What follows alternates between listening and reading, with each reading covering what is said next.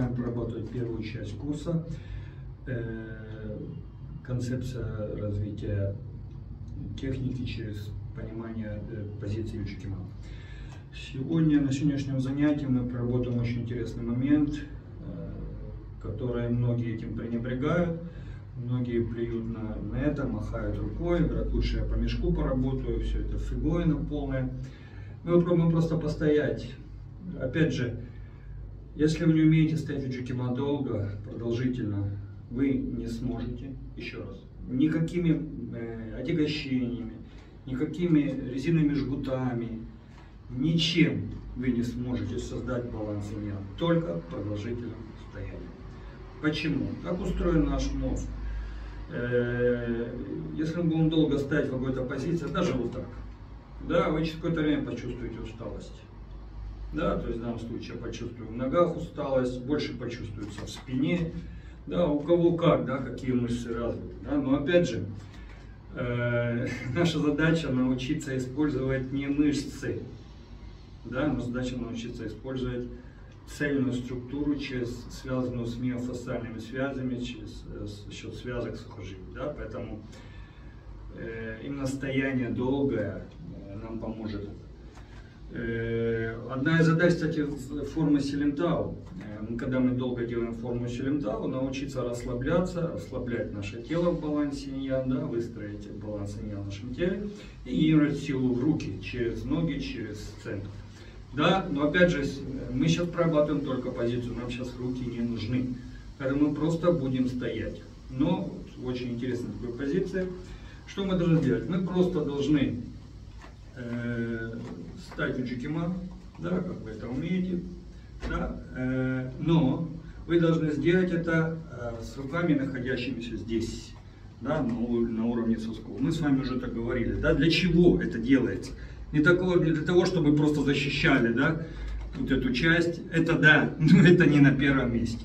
Именно вот это положение помогает нам правильно выстроить плечо. Вот сейчас я стою неправильно. Мы об этом уже говорили, у нас был урок, посвященный именно вот этой зоне. Да? Если мы стоим правильно, посмотрите. Видите этот наклон? Значит, плечо мне четко в плечевые сумки. Здесь не забывайте, должно быть расстояние большое, потому что так потеряем ощущение пружины. Первая распространенная ошибка. Вторая распространенная ошибка. Да? Третья распространенная ошибка. Это все неправильно. Если мы создадим баланс иньян, обратите внимание, у меня плечо четко в плечевой сумке да, есть угол. Этот угол, он четко повторяет вот этот угол. То есть, если я возьму две палки, стану правильно в юджикима, вот этот угол и вот этот угол, они должны быть параллельны. Это очень важно. То есть, вот эти две линии должны быть параллельны. Не угол, а линия, говорю. Поэтому э, занимаете позицию юджикима, мы сейчас не говорим о геометрии, хотя это тоже важно, не забывайте, да, равносторонний треугольник, расстояние э, кулак 2. Не надо силой сводить, мы об этом с вами говорили. Зона промежности чуть-чуть идет вверх небольшим тонусом. Это поможет инский и янский сторону нашего тела собрать в центре.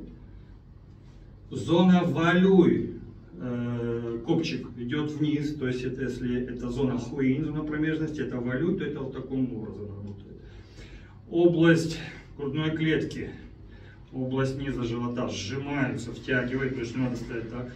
Область спины между лопаток мень расширяется, макушечная зона наполнена, говорили. Стопы работают, 9 полных, одно пустое, тоже подробно все рассматривали. Если вы правильно займете эту позицию, вы почувствуете сжатие к центру и одновременно продавливание стопами, стекание стопы. Все должно быть одновременно. Можно также представить, что вот стоите под душем как бы вода стекает в пол стопы. И ваш центр, можно представить, понижается, понижается, как бы сейчас находиться наш центр между ногами, или даже можно представить, что он находится под полом, под землей. Это даст возможность нам открыть правильно позвоночник, погрузиться и, и выполнить один очень важный принцип. Да? Наполненный низ, пустой верх. Это очень важно. Исходя из этого возникает такой парадокс. Наполненный низ. дает быстрые перемещения и очень мощные удары ногами.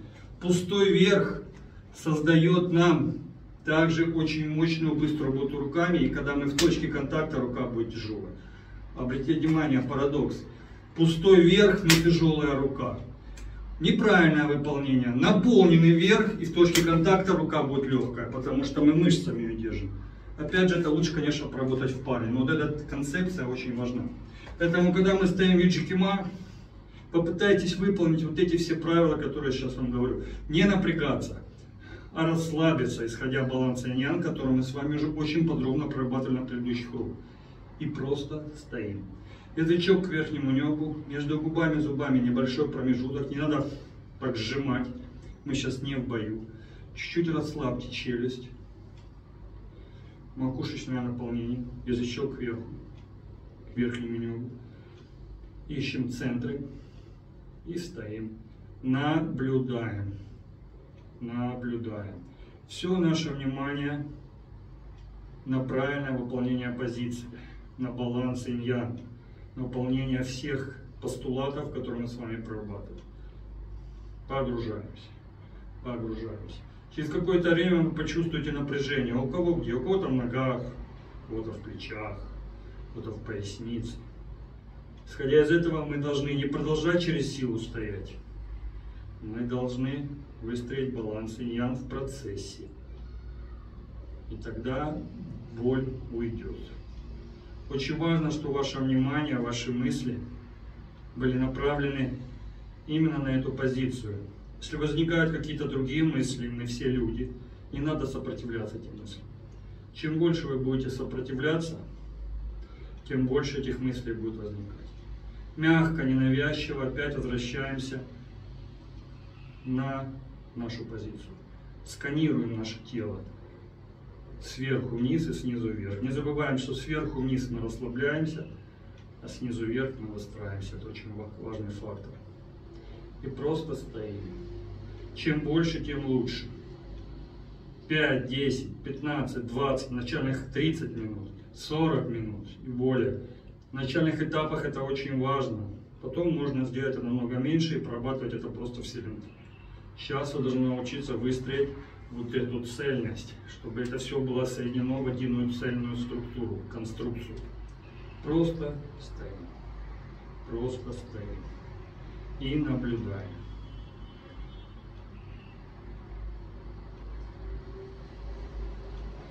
Хорошо. Значит, э, желательно делать это каждый день, особенно на базовых этапах обучения. Потом, опять же, мы это заменяем просто выполнением формы, э, формы Силентау Юджикима.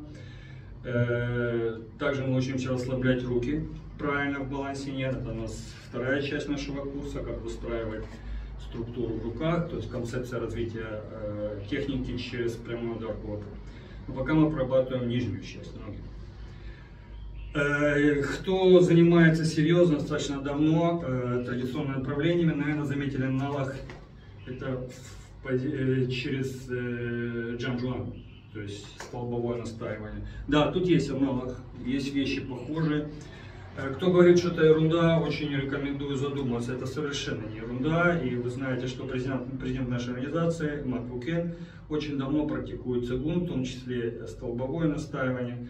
Он давно понял, что только через вот эти факторы можно развить очень мощную генерацию силы. Никакими отягощениями, ни э, экспандерами вы это не сделаете. Опять же, я вам уже тоже говорил, я не противник отягощений, не противник экспандеров, э, всяких приспособлений. Я с этим работаю очень много. Но я об этом тоже говорил и писал, что приступать к отягощениям нужно только после того, как выстроите цельность структуры. Тогда ваша работа с отягощением будет иметь не локальный характер, а будет иметь характер цельности.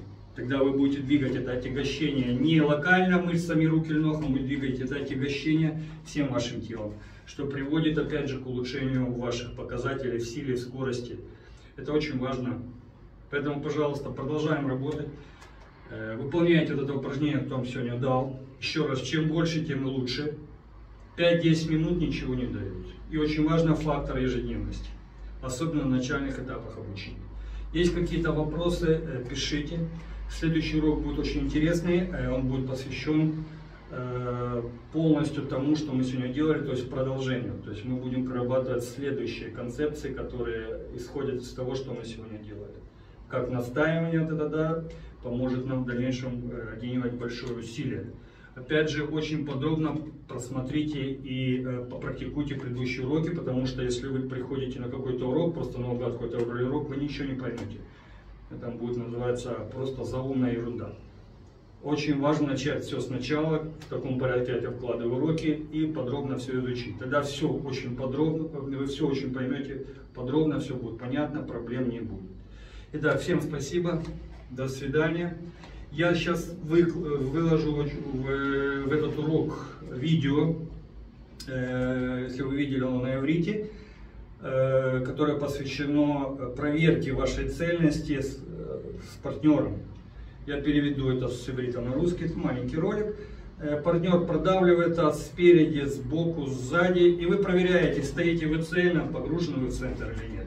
Посмотрите урок, он, он полностью э, повторяет вот эти вот правила, помогает вам понять сегодняшний урок. Все еще раз всем спасибо. До свидания.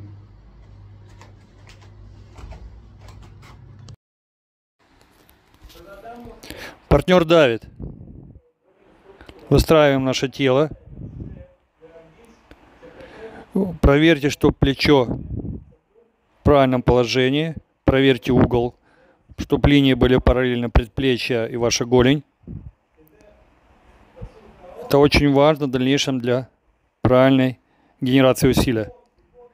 Э, не только для ударов, для поглощения. Нужно вот так просто махать руками.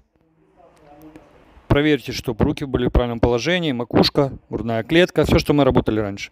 Партнер давит в область грудни. Если мы правильно стою, его усилия поглощаются в центр стопы.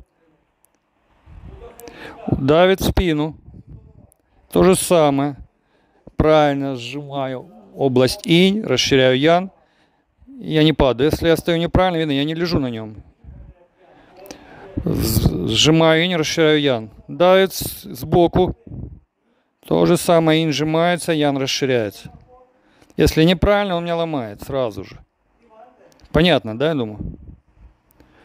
Вот сейчас проверка с партнером небольшая. Вот я его продавливаю. Если он неправильно выстрелен, он сразу падает. Видно, он падает. Его смещает на, на пятки, на внешний свод стопы. В конце у него немного получилось. Вот сейчас, вот я неправильно, меня сразу ломает. Оп, неправильно очень ломает. В динамике поединка это очень важно. Сейчас делаем это медленно. Вот сейчас, видно, меня продавливает, я сразу выстраиваюсь. То есть это очень важно. Этому помогает именно это долгое настаивание. Вот это неправильно. Меня сразу выламывает то, что мы часто видим в поединке.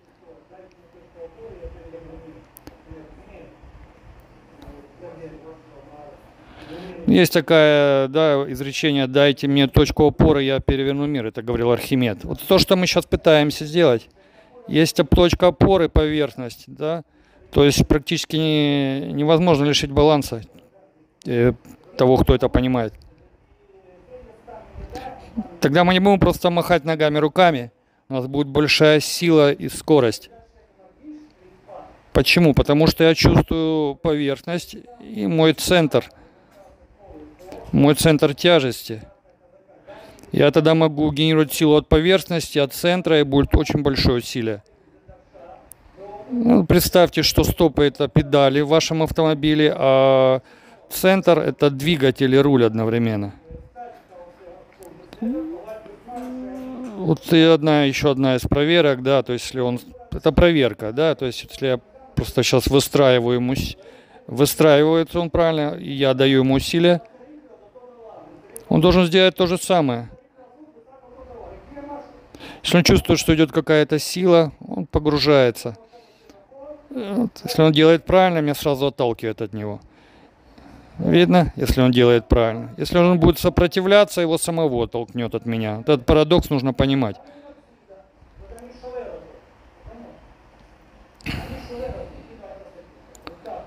Немножко сбоку даю усилия. Если он стоит правильно, мне столкнуть его достаточно тяжело. Если... У него почти хорошо получается. Есть еще небольшие погрешности, но неплохо.